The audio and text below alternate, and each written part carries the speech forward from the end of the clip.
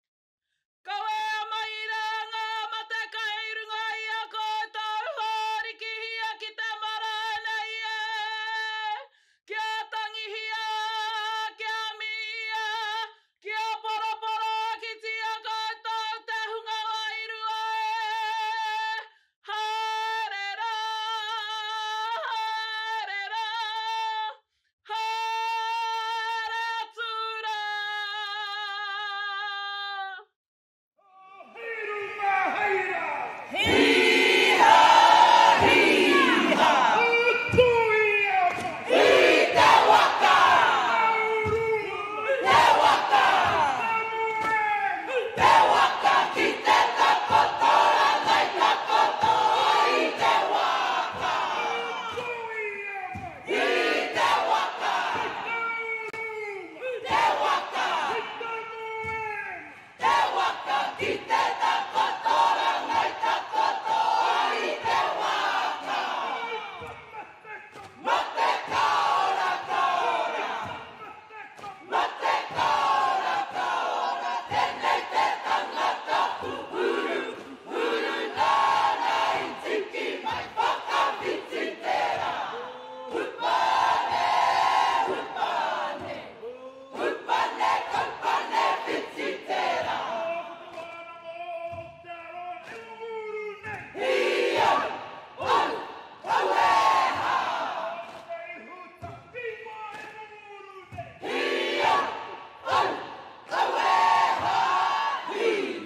Ā te tupua mai e, ā te tawhito mai e, ā te kāhui o ngā ariki. Mai e a Tawhiwhi ki ngā tūā o Wīkataki nā te mauri ko te mauri i ahua noa ki runga ki ēnei mātanga ki runga ki ēnei pūkenga ki runga ki ēnei wānanga ki runga hoki ki ēnei pia ki runga ki ēnei tauīra o te wānanga o Aotearoa ko te mauri tēnei ka whakapiki ko te mauri tēnei ka whakakake ka puta rā Te kaupapa o te rā ki te whai ao ki te ao mārama. Tūturu e rangi tūturu e papa ka whakamaua kia tīna, tīna hūi e, tāiki e. Tihei mauri ora ki te whai ao ki te ao mārama. Tuia te rangi e tū nei, tuia te papa e takoto nei. Tuia te hononga o te ira a tangata, Ki te ira wairua e ko o tatou mate kua riro i nga wiki, i nga marama ka taha. Kua moe ratou i te moenga te whakaarahia e moe, e moe, e moe. Ko tatou ra tenei ko te hunga ora kua whaiti mai nei ki tenei huihuinga a tatou i te ra nei Te, te iti, te rahi, te tī, te tā, nau māi, haere mai, nau māi, haere mai, nau mai, haere mai. Haere mai rā i runga i te karanga o te rā, e ko te karanga tēnei o Te Wānanga o Aotearoa ki a koutou ki ngā whānau, ki a koutou ki ngā tauira, ki a koutou ngā tini kārangaranga maha kei waenganui i a koutou. Haere mai Ki tēnei rā, e whakawhiwhia ai koutou te hunga tauira ki ngā tohu i whāia ai e koutou i te tau ka mahue, i ngā tau ka mahue nei, kua eke rā ki tēnei taumata, ki tēnei rā nui, anei te reo oha, te reo whakamihi o Te Wānanga o Aotearoa e rere atu nei ki a koutou. Tēnā koutou e ngā whānau koutou i tautoko i ngā tauira i tēnei hīkoi ā rātou. Nā koutou rātou i whakatuara, nā koutou rātou i manaaki, nā koutou rātou i tautoko i roto i tēnei hīkoitanga, me mihi koutou ka tika. Nō reira haere mai tātou katoa i tēnei rā, kia kotahi te whakanuitanga, tēnei kā mihi, tēnei kā mihi, tēnā koutou, tēnā koutou, tēnā tātou katoa.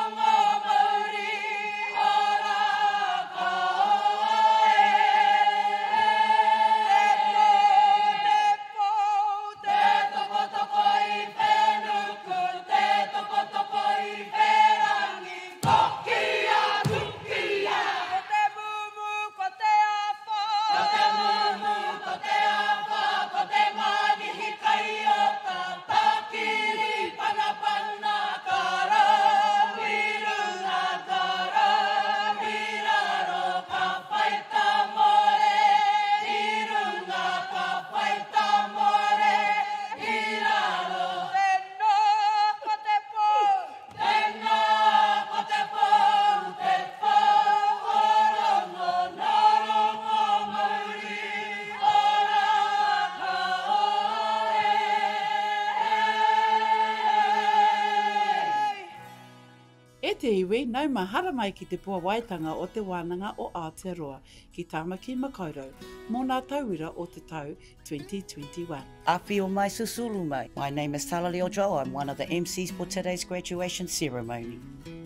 Tino katoa noa, ko Awhitia Mee haere tōku ingoa, nō Ngāti Kahungunu, Ngāti Porou, Manuapoto Rangitāne, Nau mai, hara mai. Te Wānanga o Aotearoa firmly believes in celebrating tauira success and achievement. During these times we move to online graduation ceremonies for the health and well-being of our kaimahi, tauira and families. Nō reira e te whānau, ka nui te mihi ki a koutou hei whakanui i tēnei o tātou kaupapa o te rongoā. Mai i te mai i a Tāne me ōna kete e toru i whakatau ana mō koutou katoa. Ka nui te mihi atu kia i ō koutou whānau hai hāpai i ō koutou, ngā kaiako me te wānanga o Aotearoa. Tēnā koutou. Before we move into presentations and acknowledge our graduates today, we have a special guest that would like to share a few words with you. E te whānau, it is my pleasure to introduce you all to our kaiwhakatere Chief Executive of Te Wānanga o Aotearoa. E te rangatira e Nēpia Winiata, nau mahara mai hai whakanuia to tatau kaupapa mo te ra. He mihi tēnei ki a koutou ngā akonga kua tae atu ki te tihi o te maunga mātauranga. Ka mau te wehi ki a koutou. One of the things I loved most about working for Te Wānanga o Aotearoa is our graduation ceremonies. where we get to celebrate your success alongside your whānau and friends, even in a virtual environment like today. We are saddened that we can't celebrate in person, but we are doing whatever we can to contribute to this continued safety of our communities across the Motu. Graduation is a special occasion and something you should take immense pride in. You've worked hard and deserve to celebrate your achievement, particularly with the challenges you've faced in the last year. Graduation is also a time to reflect on the work that you have done, acknowledge those who have helped and supported you along the way, and to consider how you will use your skills to build a better future for you, your whānau and your communities. At Te Wānanga Aotearoa, we consider the dedication and aroha shown by our kaiako to be a key factor that sets us apart from other education providers, and I acknowledge their work today. Your success is their success. Kanui te mihi ki tēnā ki tēnō koutou. We also believe in our vision of whānau transformation through education. And today, you make that vision a reality. Our tauira are at the centre of everything we do and even though for some of you, your journey with us ends today, you will always be part of Te Wānanga Aotearoa whānau. Your success today will create opportunities for more learning, and I encourage you to embrace those with open arms. We have loved having you study with us and encourage you to consider other learning opportunities that we provide, either for yourself or for others. Help spread the word. Again, I congratulate you on your success and acknowledge the faith you have shown in Te Wānanga o Aotearoa. Ka mutu noa iho aku kōrero mō tēnei wā ki a koutou, tēnā koutou, tēnā koutou, kia ora mai tātou katoa.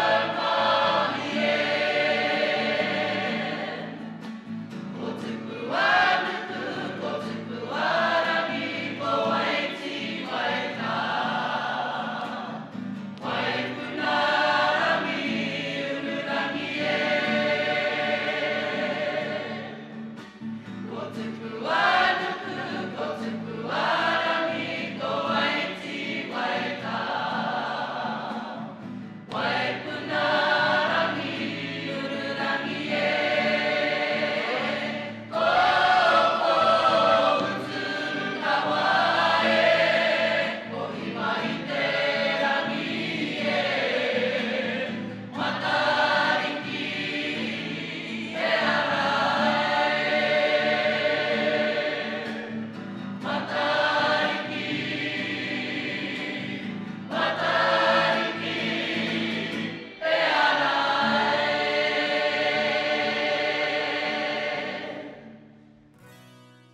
Tēnā koe e te rangatira. Before we commence with presentations, we will cross over to Vanessa Eparaima, Chairperson of Council, Te Mana Whakahaere, to read our oath for our graduating tauira. Papaki kau ana ngā tae o aroha.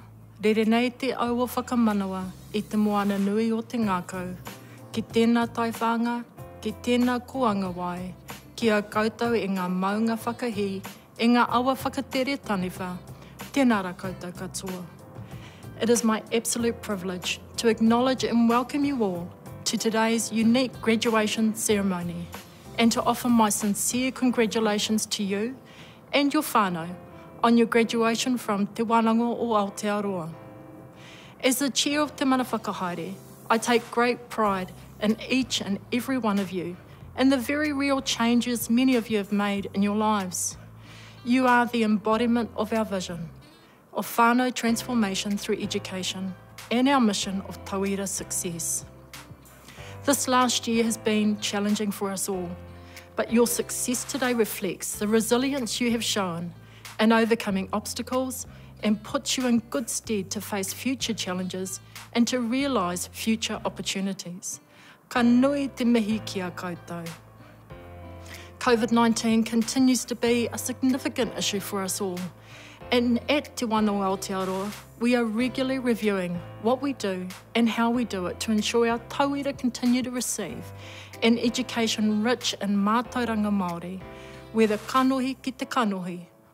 or in an online environment. Today is about you and acknowledging the confidence that you have in yourself and in your ability to design your own future with us in support. We at Te Wānanga Aotearoa feel very privileged to be a part of your journey and to provide you with the skills and experience through education to move forward with greater confidence in your lives. Well done to you all, And again my warmest congratulations and have a wonderful day. This celebration is yours. It now gives me great pleasure to read the following oath. I te mana kei runga i au mai i te Kaunihera, arā, mai i te mana whakahaere o Te Wānanga o Aotearoa me te whakatau a te Kaunihera ka tū tēnei ko Vanessa Eparaima te hemana o te mana whakahaere, Ka whakawhiwhi atu i ngā tohu ki ngā tauira kua eke i a rātou ngā paearu o tēnei wānanga. By the authority vested in me by the Council, Te Mana Whakahaere, of Te Wānanga o Aotearoa, and by resolution of Council, I, Vanessa Eparaima, Chair of Te Mana Whakahaere,